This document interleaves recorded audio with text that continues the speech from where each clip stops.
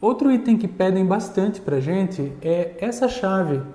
O nome dela é chave gangorra, é a chave de liga e desliga. Então, quando você tem um projeto de LED neon ou o seu letreiro vai dentro de um consultório, enfim, são vários os usos, até para totem, PDV. Então, essa chave do tipo liga e desliga, gangorra, é muito utilizada. Você pode fazer a conexão dela no positivo dos 12 volts e aí quando você der o sinal, ela faz o liga e desliga.